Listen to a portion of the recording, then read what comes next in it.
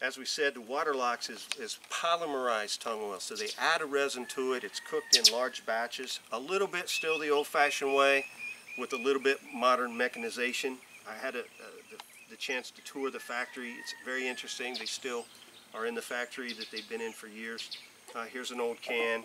We can see the label change. But listen, Waterlox is the choice for hardwood floors, furniture, wooden countertops, wooden walls, horse barns, anywhere you've got water and wood, Waterlox can either serve as a sealer and a finish. It can serve as a sealer under a variety of other coats, but this is the most waterproof first touch you can put on most wood. So let's take a look here. We've got several, again, a random array of, of wood samples, um, and we're going to talk about the different characteristics of Waterlox using this wood to give that example.